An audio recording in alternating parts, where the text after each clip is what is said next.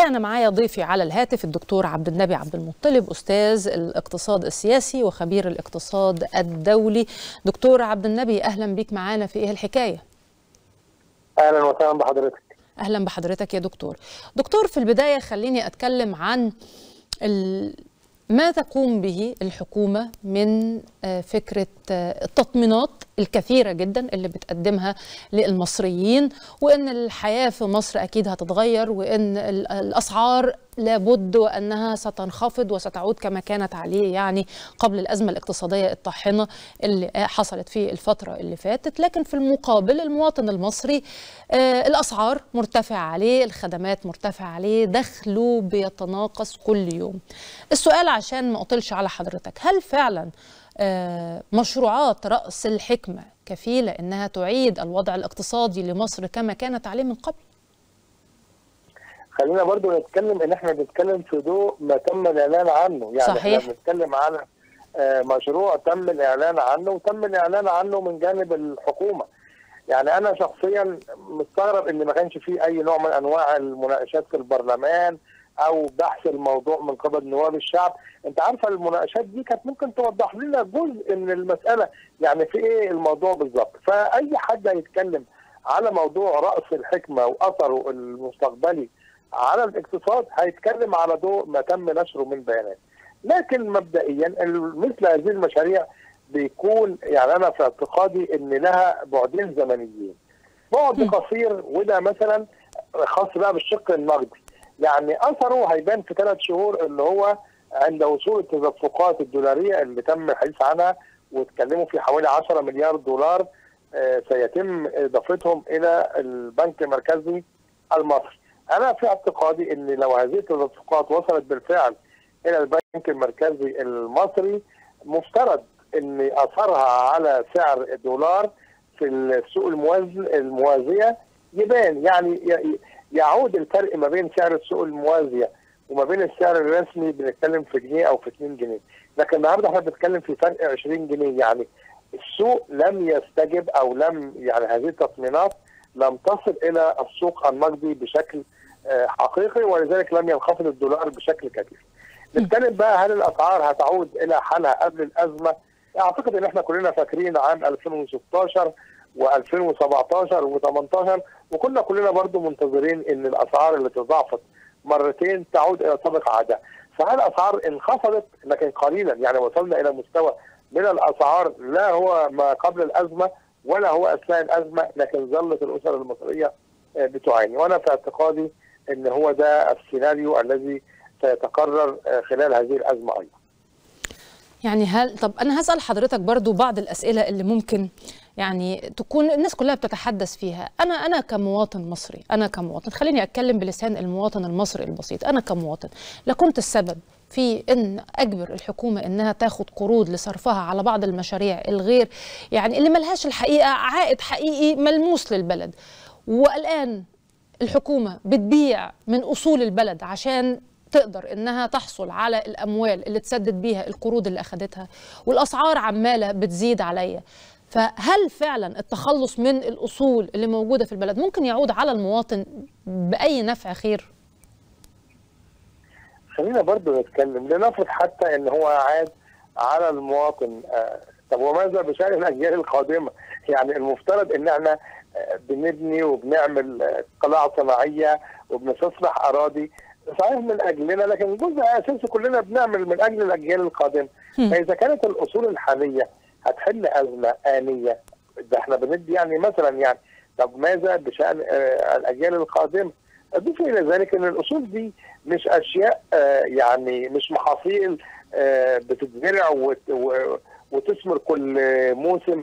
أو مش إنتاج بيطلع كل موسم لا ده أنت بتبيع أصل وانتهت الصلة دي وانقطع العائد منه سواء الذاهب إلى الموازنة العامة أو حتى العائد على المواطن.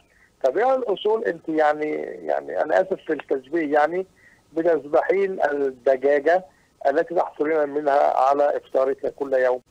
آه هوجد دجاجة أخرى. زي ما في حديث الآن عن إن في رأس جميلة هيتم بيعها للمملكة العربية السعودية أو إن الم...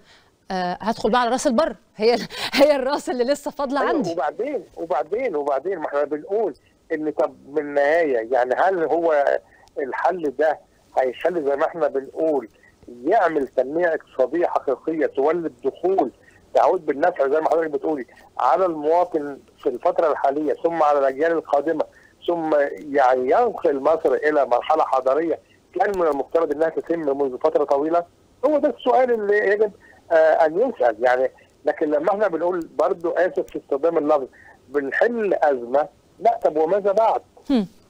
يعني يعني حضرتك بتتفق معايا في إن مشروع رأس الحكمة أو غيره من الحلول السريعة المؤقتة هو ممكن يساهم في حلحله الأزمة لكن لا يقضي عليها. بالظبط كده. يعني إحنا عندنا في عام 2016 أنا متذكر لما م. كنا بنقول إحنا ماشيين في الطريق الغلط الكل كان بيقول لا صندوق النقد جراح ماهر وإنه يقدر يشخص المرض وان عشان يعني المريض يشفى لازم يتقبل العلاج الجراحي ولازم يتقبل الدواء المر.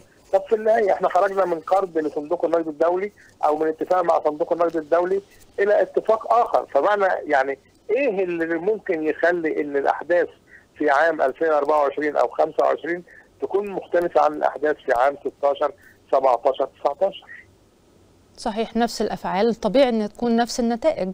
نفس النتائج يعني ده كلام لوجيك يعني.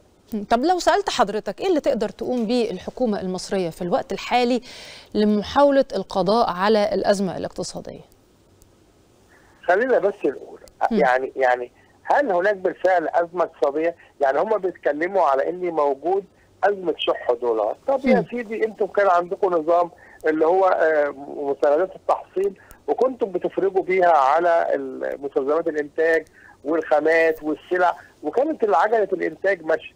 ما ما ارجع للنظام ده وسيب المستورد المصري مع المصدر له من الخارج من خلال نوع من أنواع المعاملات اللي يقدروا يتفقوا عليها وخليك أنت كدولة دولة راعية، يعني ليه بقى إن إحنا بنقول لن نفرج على السلع إلا لما تستوفي الشروط اللي هي إن المستورد يسدد ثمن البضاعة بالكامل للمورد ويأتي بما يفيد أن المورد استلم ال ال الأموال. وبشرط أن يقوم البنك المركزي أو جهاز المصرف المصري بعمليات التحويل. طب ما هو القرار كده انت بتشيله بقى من ايد المستورد وايد المورد وبتحطه في البنك المركزي والبنك المركزي بيقول لك أنا ما عنديش دولارات. طب يا سيدي الاحتياطي النقدي اللي انت اللي انت جايبه منه ودائع وبتدفع عليه فوائد وبتدفع عليه رسوم انت سايبه إيه؟ يعني كده حاطه سند لظهرك انك تتسند عليه يعني بتدفع فوائد لمجرد إنك أنت تقول أمام العالم أو أمام صندوق النقد الدولي إن أنا عندي احتياطي نقدي بيغطي ستة أشهر واردات وده بيديني قوة في المؤشرات ما هو برضه يبقى إحنا عندنا حسن إدارة للموارد اللي موجودة. أنا عندي صحيح بيقول لك دي ودائع ما ينفعش إن إحنا نقرب لها وهي من أجل تقوية الاحتياطي. طب يا سيدي يعني هنسيب الدنيا واقفة بالشكل ده كده وأنت عايز تعمل تنمية إزاي؟ يعني المصانع النهارده الكل بيتكلم بيقول المصانع بتعمل بأقل من نصف طاقتها طب ليه؟ لعدم توافر الخامات ولا مستلزمات الإنتاج. لما بنيجي نتكلم على ال ال أسعار البيض يعني أنا آسف إن إحنا بننزل لكن هو ده شيء مهم جدا. اللي كان فطار المصريين أو الطلبة اللي رايحين المدارس أو الكليات النهارده أصبح من ربع المستحيلات. يعني يعني يعني النهارده لما بنيجي بنقول إن الأسعار ارتفعت ده نتيجة أخطاء سياسات. فيبقى إحنا عندنا محاولة محاولة على الأقل للقضاء على أثر هذه السياسات. خلي عجلة الاقتصاد تمشي وفر للمصانع مستلزمات الإنتاج وفر لها الخامات، أول ما عجلة الاقتصاد تدور مؤكد مشاكل أخرى هتتحل في الطريق، لكن أنت يعني قافل قافل الخامات ومستلزمات الإنتاج، طب وعايز المصانع تنتج إزاي؟ يعني كده يا دكتور أول حاجة المفروض تعملها الحكومة أوه. أول حاجة تعملها الحكومة تفرج عن الخامات ومستلزمات الإنتاج بدون شرط أو قيد على الإطلاق وتبدأ تخلي المصانع تشتغل. طب هنا في نقطتين يعني أفهم من كلام حضرتك إنك بتقول إن إحنا ما عندناش أزمة اقتصادية لكن إحنا عندنا شح في العملة الصعبة، هل أنا فهمت صح؟ والله إحنا ما عندناش أزمة اقتصادية لكن عندنا أزمة إدارة، يعني هو ده اللي موجود آه عندنا. أزمة إدارة. إذا كنت آه لكن النهارده أنت إزاي بتقول أنا عندي 34 مليار دولار احتياطي نقدي منه ما يزيد عن 25 مليار دولار أموال سائلة؟ وأنت النهارده لما بتيجي تتكلم على انك أنت اللي محتاج عليه للإفراج للمواد الخام وغيره بتتكلم في 3 أو 4 مليار دولار. يعني طب أنت قريت إن 26 مليار دولار دول ليه ما بتستخدمهمش في الإفراج؟ وإزاي نقعد في سياسات خاطئة تستمر حاليا يعني بعد كام يوم في فبراير ده؟ يبقى أنت بتتكلم في سنتين كاملتين. سياسة خطأ وأنت اعترفت إنها سياسة خطأ. وغيرت أو يعني استقال على اثرها اثرها محافظ البنك المركزي. طب كيف لم يتم يعني تغيير هذه السياسات الخاطئه خلال عامين كاملين؟ ما هو هنا برضو لازم يبقى إحنا بنسأل. المشكلة بقى مش مشكلة شرح موارد لكن سوء إدارة هذه الموارد. حسب ما أعلنت الحكومة عن تفاصيل الصفقة إن في 11 مليار دولار ودي كانت الودائع الإماراتية اللي موجودة لدى البنك المركزي هيتم تغييرها حسب سعر الدولار أو السعر الرسمي للدولار ليتم الاستفادة بها. ليه الحكومة ما بتستخدمش من هذه المليارات للإفراج عن المستلزمات والسلع اللي موجودة في المواني؟ خصوصا إن إحنا سمعنا أكتر من مرة إن محتاجين 7 مليار، طب ما الفلوس موجودة ليه ما بتستخدمهاش؟ أنا أنا أنا شخصيا كان في البداية كان كلامي بالشكل ده كده. انت النهارده آه بتقول اصل أنا عندي تعاون ان أنا ما اقربش للاحتياطي واني حركة الاحتياطي يعني كل شهر صندوق النادي بيراجع بعض البيانات من خلال المراجعات وأنا ما عنديش استعداد ادي فرصة للصندوق. لكن في النهاية إيه انت بتعطل عجلة الانتاج عشان تبقى بس محافظ على الشكل العام وعلى المؤشرات اللي موجودة عندك. طب وبعدين؟ يعني, يعني بص يا أستاذتنا هم كانوا معتقدين إن صندوق النقد الدولي سيقبل مجموعة من التعهدات كما حصل في 2016 2016 وإحنا كنا بنقول المسألة كانت مختلفة على الإطلاق. صندوق النقد كان يعني عامل كوارث في الأرجنتين وفي البرازيل وفي غيره من الدول العالم وفي اليونان كان عنده كارثة. فكان هو عايز يدور على نموذج يقول إن روشتة الصندوق نجحت. وكان مصر بالنسبة له يعني هو على استعداد إنه يفعل أي شيء مقابل إن تنجح تجربته مع مصر. وزي ما إحنا عارفين برضو الأوضاع في مصر مختلفة. يعني المصريين ما ما بيصروش بسهولة فبدأ يقبل تعهدات الحكومة على إنها إنجازات والمهم أفرج عن القرض أو الشرائح اللي كان متفق عليها. بعد كده جت كورونا فبدأ يعني يعمل توزيعات وادى قرض إضافي، يعني كان في هناك مجموعة من التدفقات الدولارية اللي استمرت من 2017 لحد 2019 بشكل مستمر. هذه الفترة إحنا أصبح علينا ديون واجبه السداد لصندوق النقد الدولي. فما كانش ممكن إنه هيدي قروض جديدة أو يعني يتساهل إلا لما يكون لديه تأكيدات بإن الاقتصاد المصري سوف يسير حسب الخطة الذي يراها هو للتنمية. وده مسبب يعني اختلاف كبير في وجهات النظر ما بين الحكومة المصرية وما بين إدارة الصندوق. ولحد النهارده على فكرة اللي إحنا بنسمعه ده برضه كله تسريبات. يعني اللي بيقول آه إن المراجعات تمت. يا سيدي طب لما المراجعات تمت ليه ما تمش الإفراج على الشريحة الثانية والثالثة؟ واللي بيقول إن لا ده القرض هيزيد. ممكن يبقى 7 مليار وممكن يبقى 10 مليار وفي حتى كلام قال إن هو 12 مليار. طب فين بقى تطبيق ده على الأرض؟ تصريحات من أعلى المستويات سواء من إدارة الصندوق مدير مدير عام الصندوق نفسه أو حتى على مستوى الحكومة المصرية والخبراء المصريين لكن لما بنيجي بنبص للتطبيق على الأرض للأسف الشديد ما بنلاقيش شيء حي.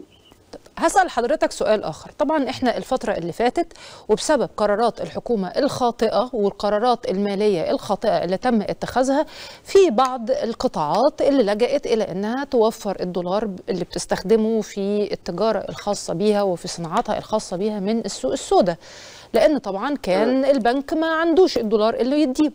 وكنا في وقت من الأوقات حسب موقع انفستنج الخاص بي كان بيتحدث عن العملات وقال إن الدولار بيسعر في مصر باكثر من سعر وأكيد حضرتك اطلعت على فكرة الذهب كان بكام سعر الدولار في سوق الذهب في سوق الحديد في السيارات وما شابه. النهارده الدولار انخفض انخفض تقريبا على حسب آخر أسعاره من 65 ل 63 أو من 63 ل 53 فقط حوالي 10 جنيه من قيمته. ده الدولار. لكن أنا عندي قطاعات اشترت الدولار بالفعل وهو بهذا السعر. والنهارده هيعملوا إيه؟ النهارده التجار دول وتحديدا مثلا بتوع غي... قطع غيار السيارات اللي استوردوا قطع غيار سيارات من الخارج وفي الطريق لإنها تيجي مصر على سعر الدولار وهو ب 63 مثلا دول عاملين أزمة وبتوع شعبة قطع غيار السيارات بيطالبوا الحكومة إنها تو... تأجل أي قرار اقتصادي آه خاص بتخفيض أسعار السلع لغاية لما يقدروا إن هم يعني يتجاوزوا جزء من الخسارة اللي أصبحوا هم بيعانوا منها. طبعا أنا ضد الكلام ده تماما. يعني أي فرصة إن إحنا ننزل جنيه واحد في أي سلعة الناس طبعا أولى بيها. لكن كمان دي خسارة كبيرة. خسارة بنتكلم في أسعار الحديد خسارة بنتكلم في السيارات قطع غيار السيارات وغيره وغيره من السلع ومن القطاعات. رأي حضرتك إيه؟ طب خليني بقى يعني أنا آسف أسأل أنا السؤال آه. هي الحكومة بتمتلك القدرة على تخفيض أسعار أي سلعه؟ يعني اذا كانت الحكومة اللي هي يعني المنتج والموزع الأساسي للسكر في مصر غير قادرة على إنها توفره للمستهلكين وإحنا على شهر رمضان توفره بأي سعر إن كان. مش هقول بالسعر اللي هو يعني مش هقول بسعر السلعه التموينية اللي هو 12 جنيه ونص. بالسعر اللي هم بيعلنوا عليه اللي هو 27 ونص صحيح. الحكومة مش قادره توفر السكر اللي هو في إيديها في مخازنها هنقول إن الحكومة قادرة إنها تسعر قطع الغيار وتسعر السيارات وتسعر المواد الغذائية. ده الكلام ده مستحيل. ده ده أنا أنا ما أعرفش الكلام ده بيتقال إزاي. الحكومة لا أو الدولة لا دخل لها بالأسعار إلا على مجموعة سلع محدودة. الوقود الطاقة والسلع داخل المنظومة التموينيه غير كده هي ما تقدرش تحط لا تسعيرة لا جبرية ولا تسعيرة استرشادية ولا تقدر حتى تعمل قضايا للتجار اللي بيبيعوا بأسعار مغالى فيها. كل اللي تقدر تعمله إنها تصادر البضائع اللي هو بيتم تخزينها بغرض تحطيش السوق أو تعمل قضايا لتاجر بيبيع سلعة بأكثر من السعر اللي محطوط عليها. غير كده الدولة لا تملك التدخل في الأسعار على الإطلاق. يعني الحديث عن إن الأسعار هتنخفض في الأيام القليلة المقبلة ده ده بيع وهم للناس؟ خل...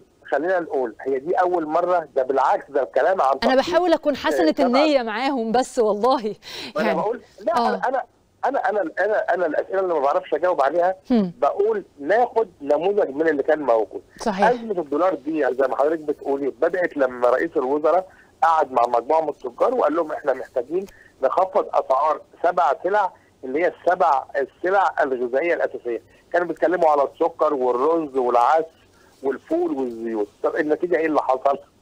ارتفعت أسعار السلع بشكل كبير. يعني يعني لو كانوا سابوها بأسعارها ساعتها. يمكن كان أحسن. الفول اللي كان ساعتها بيتباع ب 38 جنيه النهارده بيتباع بحوالي 56 جنيه. آه يعني لا كانوا سابوها أيامها كان أحسن. ف ف فالنهاردة لما نيجي نقول الحكومة بتقول إنها هتخفض سلع. أنا شخصيا بقيت اقلق من المسألة دي. وأقول لا يا جدعان متشكرين خلوها عند السعر ده وإحنا راضيين. تدخلوا وتعملوا آه بدل ما تعملوا نفس اللي حصل آه قبل كده. ما أنا بقول لحضرتك مش فاكرين مبادرة تخفيض السلع الغذائيه حضرتك واتكلمنا في الموضوع ده قبل كده. صحيح. ما بنقول النتيجة. طب إيه اللي حصل؟ يعني اتخاذ الدولة لمبادرة من أجل تخفيض بنتكلم في سبع سلع. طلع منهم سلعة تم اختفائها بال- على الإطلاق السكر. كوبايه الشاي اللي هو الع- العامل أو الشغيل الصبح بيشربها النهارده بقت يعني ممكنة وغير ممكنة. طيب لو هقول لحضرتك نصيحة تقدمها للناس اللي حاولت إنها تحفظ أموالها في آه، عملات معدنية زي الذهب والنهاردة حاسين إن هم بيخسروا آه، حضرتك تقول لهم إيه؟ لا لا ما في الكلام ده مش موجود ال- ال- الذهب هو الإشكال في إيه؟ إن هو بيحاول آه، يغالي في قيمة ما حصل عليه لكن الذهب في كل المقاييس هو مخزن حقيقي للقيمة العقارات تحت كل الظروف هي مخزن حقيقي للقيمة. لكن الفرق هنا بقى اللي انت بتتكلمي عليهم اللي خسروا جزء من أموالهم هم المضارب هم المضاربين. يعني اللي هو كان بيشتري الذهب على أمل إن هو يبيع ثم يشتري ثم يبيع. ده تاجر بقى. ده ما يبقاش حد بيدور على إنه يحفظ أمواله. ده حد بيتاجر. والتجارة زي ما بتحصل فيها خسائر أرباح لازم تتقبلي فيها الخسائر. طب لكن اللي هو محتفظ بالأموال في صورة ذهب هم. لا هو حافظ عليها. حتى رغم الانخفاض في الأسعار واللي استثمرها في شكل عقارات هو محافظ عليها حتى لو انخفضت الأسعار. لكن المضارب لا ده يعني الأرباح بتأتي على على المخاطرة. فهو يجب أن يقبل الخسارة والربح كما يقبل الربح. دكتور عبد النبي عبد المطلب أستاذ الاقتصاد السياسي وخبير الاقتصاد الدولي. أنا بشكر حضرتك شكرا جزيلا على مداخلتك معانا. مرة تانية بوجه شكري للدكتور عبد النبي عبد المطلب.